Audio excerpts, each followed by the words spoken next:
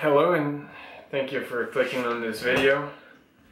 My name is uh, Martin, as most of you probably already know. And I have not played bass guitar in like eight years, maybe seven, maybe eight, I don't really remember. And for in these eight years, I have not like put my heart out for the bass guitar. I haven't really take the take take the took the. I haven't really taken the time to get back to bass, and then I sold my bass guitar, and then I moved to Japan. Now I'm here, and now I'm going to video log me getting back to bass and seeing how that's gonna happen. Now, excuse me, you can't really see my guitar. My wife put these cute little things on it. So I'm just gonna play a song and you guys can see how much I struggle after not having played bass professionally for like eight years. Well, I, I wouldn't say I was a professional, but I, I studied it in college and I prepared and did auditions and shit. Um, so I was a I was a, a fanatic bass student, and I could play quite well. I wouldn't say I was top of my class. I, I was probably bottom of my class, but I still, you know, I could play certain songs. Now I'm trying to replay those songs and uh, see what's uh, if I can still play them. I don't know how the sound's gonna go. I'm gonna.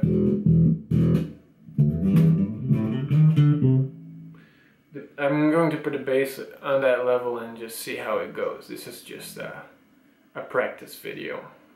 Alright.